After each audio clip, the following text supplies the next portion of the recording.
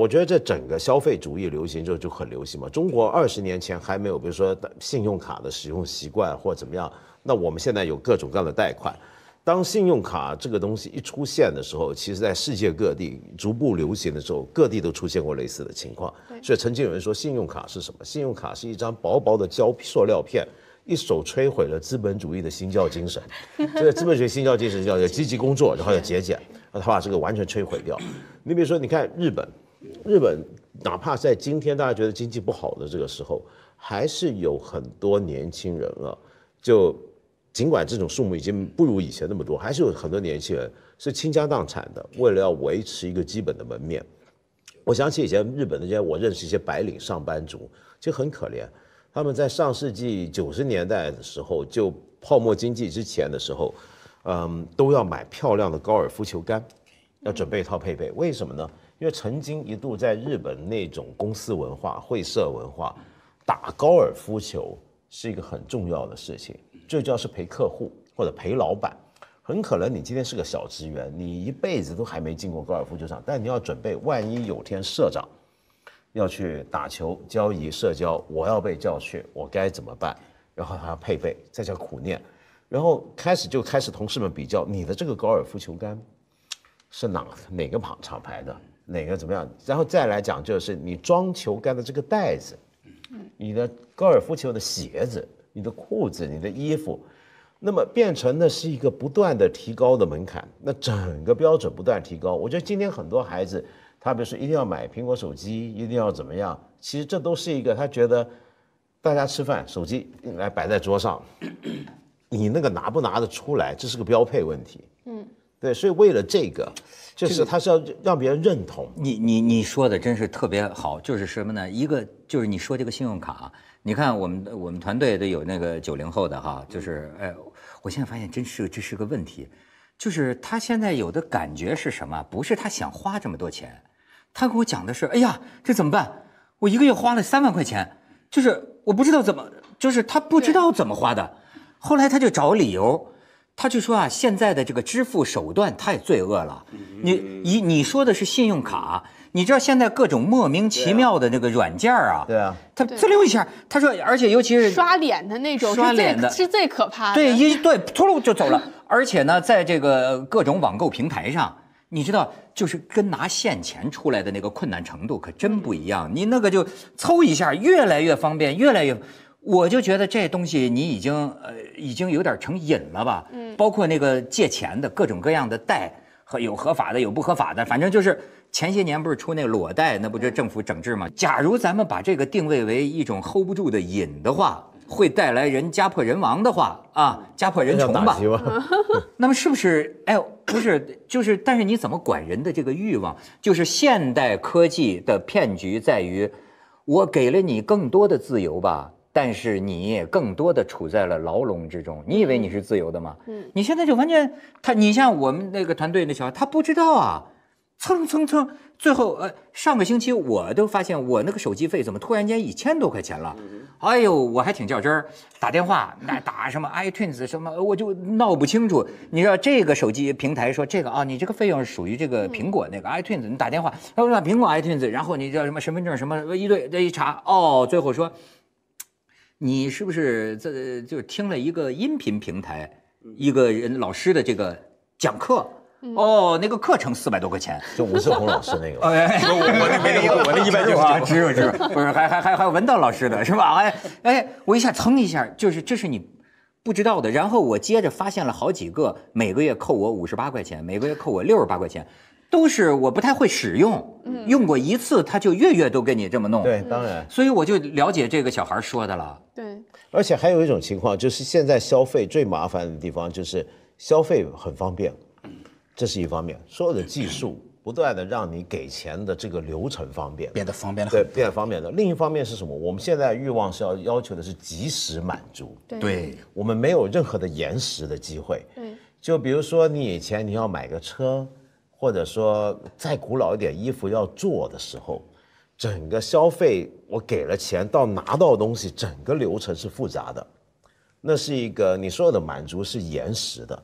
可是问题是，现在我们要的满足感是即刻的，而且那个即刻甚至不是说我要快递这个东西很快到我家，而是我买的这下单按钮刷脸的这一刻的满足感，比它实际送到我手上的满足感还要大。嗯，所以那个满足感是不断的被压缩那个时间。所以，当你一再追求这种及时满足的时候，我们刚才说那种负债啊什么那个情况只会更严重我。我我我我有个好奇的问题哈，就是呃，我们年轻的时候哈，好像大家觉得啊是以不不一样为荣，嗯，讲究特立独行，你知道吗？比如说那个时候，就是说他们就说上海的酒吧跟北京酒吧不一样，对吧？上海酒吧一个个穿的都跟话剧舞台上的人一样，对吧？就就是就是就是北京酒吧来一哥们儿穿着个免裆裤，披着个军大衣，咵了戴着个二锅头，他也是一种演呐。但是就至少就是我们那时候觉得，嘿，这哥们儿对吧？他就不穿那个西装革履，就是说以这个不不同啊，才叫反叛，才才牛啊，对吧？呃，那现在你们还是这样吗？没有，其实我觉得这就是刚刚那个文道老师说这个问题，就是说你你其实它是一个不断飙升的一个概念。你比如说你本来这个二十岁的时候你买某一个这个轻奢的包包，大家大家都要有，然后是是同款的，你就得到满足。但是就有一部分人觉得我要不一样，我要更高级一点，所以他塑造出来一个更高的门槛儿。就是所以我觉得大家都想变得不同，所以但是不同就意味着更贵和更好。哦，把这俩绑一块儿。对，所以我觉得它是一个不断升级的一个概念。你想变得跟比大家好，只好那么一点点，所以你要花更高的钱，所以门槛儿这个所谓标准的门槛儿，就随着高级的门槛提升而变得越来越高和越来越贵我们。刚才讲的东西呢，其实都在讲，你就是一个人想寻求就是一种认可。比方刚才讲的，一个人想寻求集体的认可，我们讲到一个这个这个群体，它有个标配的门槛儿，比方讲的高尔夫球杆是吧？嗯，那像刚才你讲的，就比方说给蒋方舟同款，就是你看其实这意味着都是我不知道我是谁，是吧？我要通过认同了蒋方舟，就是我就成为这个好像就是成为蒋方舟或者这样的跟你有点连接，或者刚才讲的也是说我要获得群体的认可，要怎么怎么样。那我想确实互联网就是极大的带动了这一点，因为过去我们讲这个媒体的宣传、电视啊什么的，就就可能我就没有像互联网构建了一个同一个平台啊。现在所有人都在共享互联网这一个平台，可能这里面确实形成了这一部分，我觉得在加强。但你们听的时候，我就有点，我就不断在想啊，我身边有哪个人，就是就包括我的公司里头，就是有很多九零后的小孩儿，是吧？他们有很多有有谁因为这样子会变得很窘迫吗？会变得很糟糕吗？那说实话，我我我还身边真对可举不出来。能你的也是另一种真相。对我现在觉得有些时候我们谈论的话题啊，也许是媒体制造出来的伪话题，也有可能。比如每个年轻人都在破产之类的。对，每个年轻人都在破产，大家就是这种比较耸动嘛，聊这个觉得比较所谓贩卖焦虑嘛，对吧？呃，实际上是不是有这种现象？是不是大部分人还是过着比较平时的生对，活我？觉得大部分人，比方我们公司那小孩儿啊，他们有很多就是那个九零后的那些共同特点，各种比方说丧啊，各种各样的这些东西啊，而且同们同时都比较有自我，是吧？动不动就他就可以辞职，跟我们以往真的是不太一样。就但是我我以我的评估，我觉得他们活得还好好的，大部分但是人活得好好对的。，但即便是他们，我也觉得呃挺够呛。呃，我就是说，咱们比较了解的是这个北上广，呃大城市，确实啊，他挣个这个几几千块钱到一万块钱的，呃，我有时候替他想想，还真不够。对你真的，我也我觉得就是不够。你这个是不是应该全民提高工资，还是怎么着？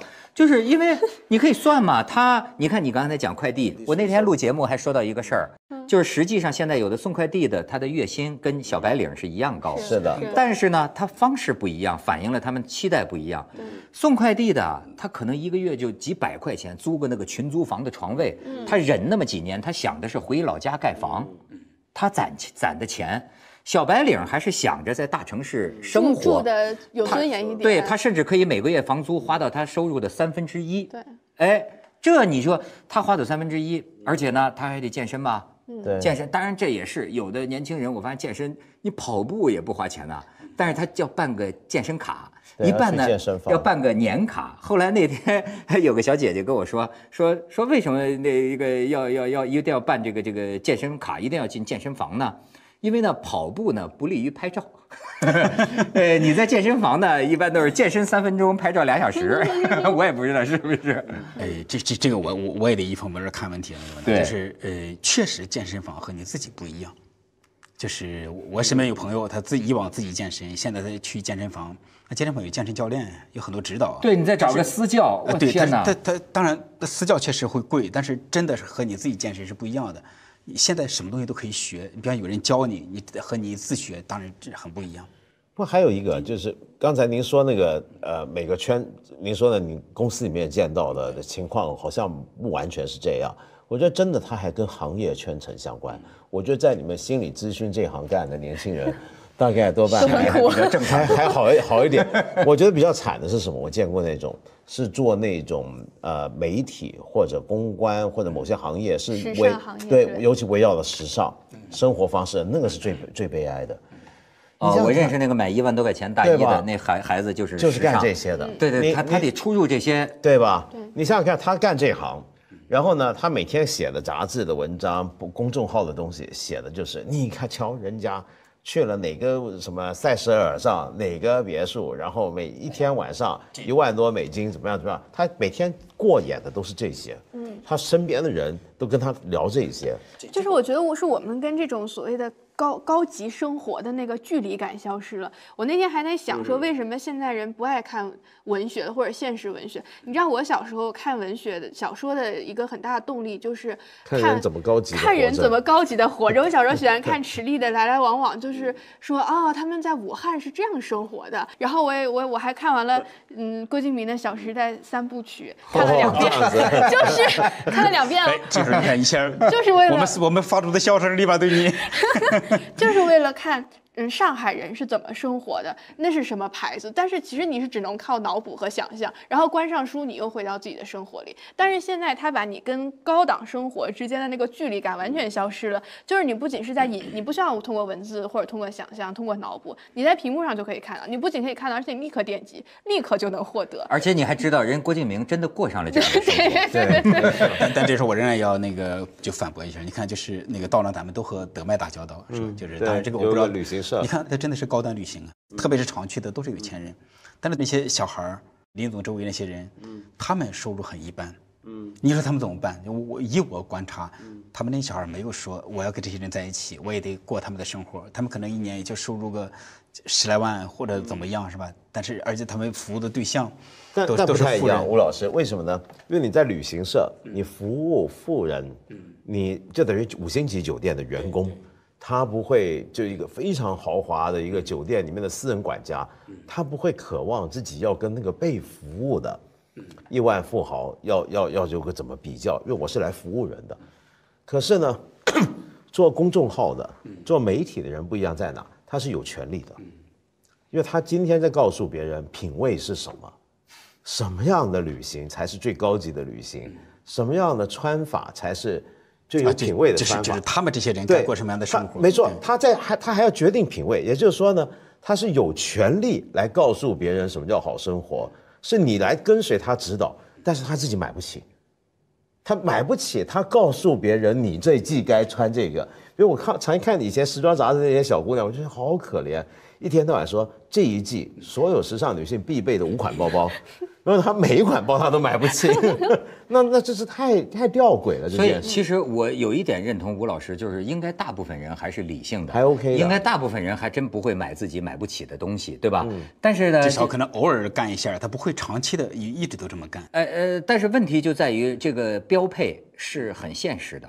说你别都嘴上讲的好听，我看那个调查，八成的女性就对于配偶的要求，你收入不能低于五千。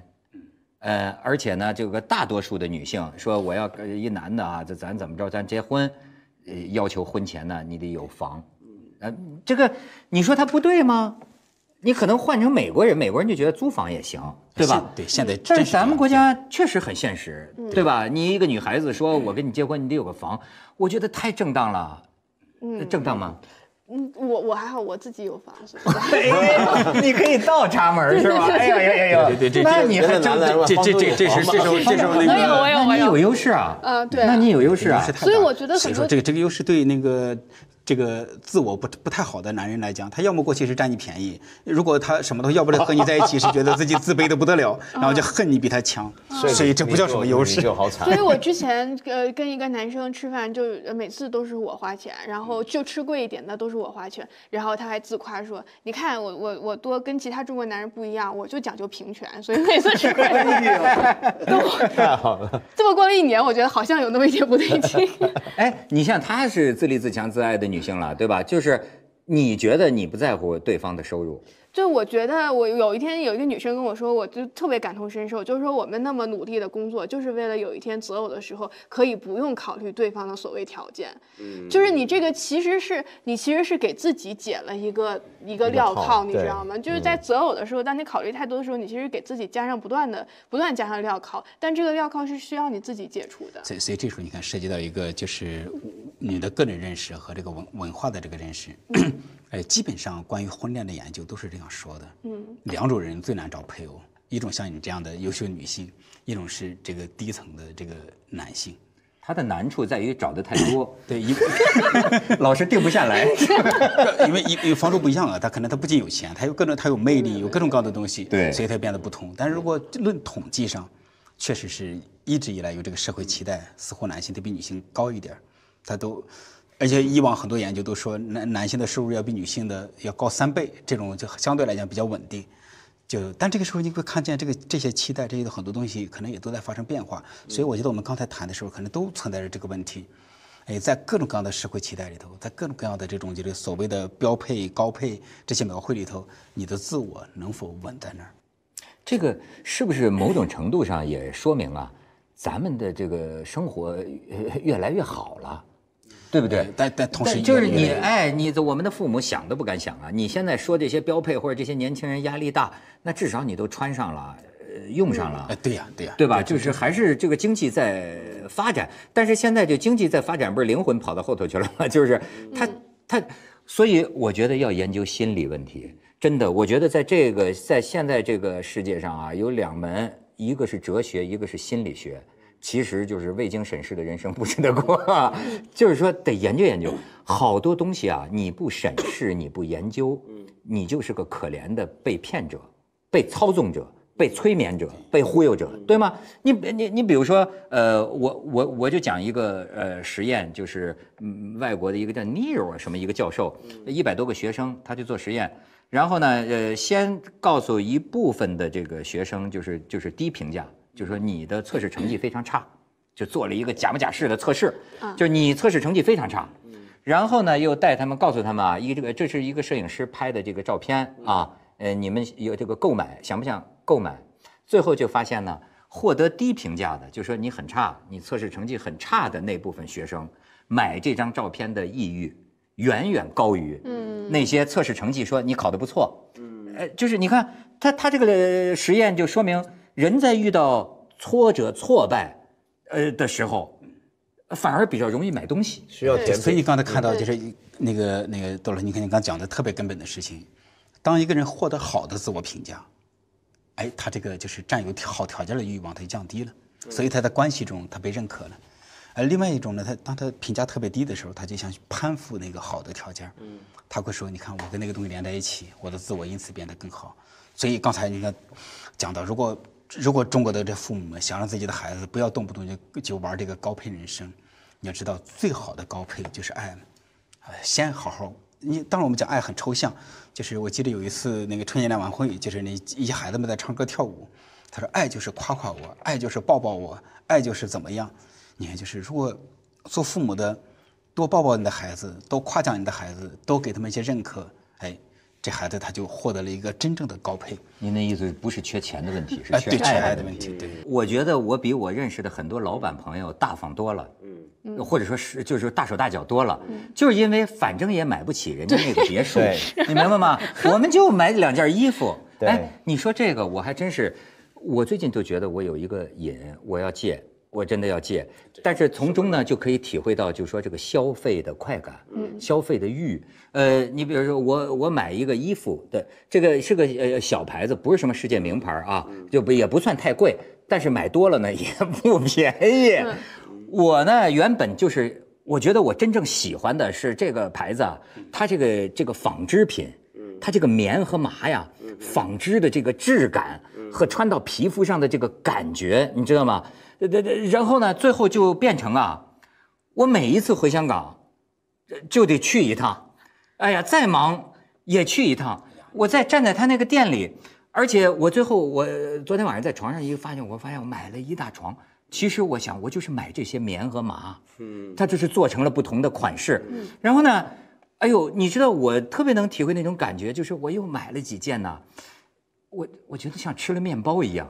真的就是觉得哦，就是哦，就是就是好满足真的吗？这有些时候这是节目没做好，也不太开心，或者跟人怎么着发生不愉快了，我就去那儿，嗨，回来的时候就觉得啊，这沐浴在这个纯棉纯麻的那种气息的，你知你知道你讲什么吗？那个你无形中就可以被又又要被精神分析一下。好，来分析一下。你讲的是母亲的怀抱，哦，哦，母亲你看那种柔软的棉麻的那种感觉，是吧？就是你在寻找缺母爱，缺抚缺抚摸嘛。缺抚摸，真的真的真的，方舟，你真是多摸的太少了。多提供一点啊以！后我们回头就围着你摸。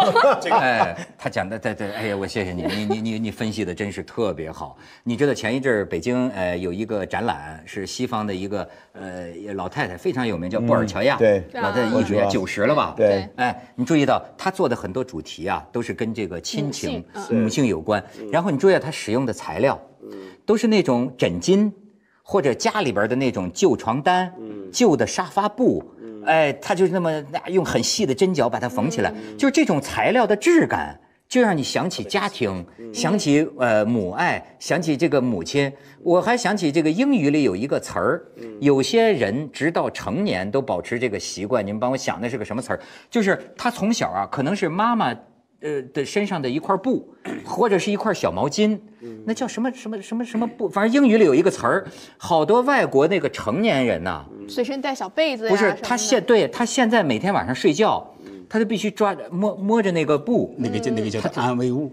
嗯，哎，对对，有点像所以所以所以所以这是我们我们在做在做点隐身啊。你看，就是刚才这些东西都不怎么花钱。你虽然你觉得这个这个衣服啊，这个东西就是都已经有点贵了，让你觉得，但是假如你真的在找这个，不是那么花钱的。所以你看到这种，就是这其实这都是母亲的延伸或者母爱的延伸。那个我们为什为什么叫做安慰物呢？还有一个说法叫做过渡客体。其实说白了，哎，它是有母亲的一点象征。就是你比方有些孩子在特别小的时候，他跟妈妈在一起枕过一个小枕头，或者就跟妈妈一起就是有一个小方巾，那个小方巾就被孩子理解为那是妈妈。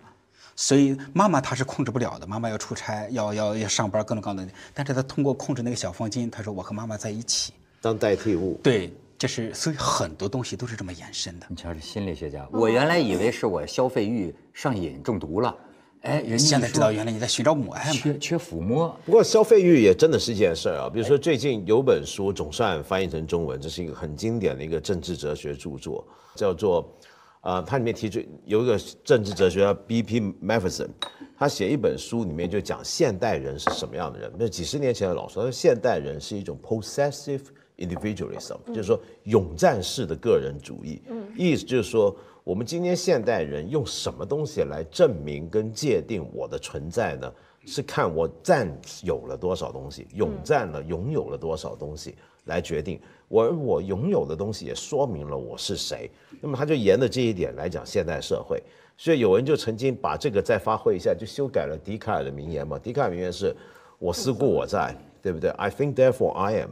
那么现在很多人就说不是，是 I shopped therefore I am，就我购买所以我存在。嗯，因为我要透过我买的东西，来来说明我到底是个什么样的人嘛。对，这然后这然后沿沿着这个当当然那个那个道长，你刚才讲的这个我也都听到了，但我还想顺着那个就是窦老师这个我再讲一点儿。你看刚才就是窦老师，只要你但凡和人和爱真的发生关系的，通常不是那么贵。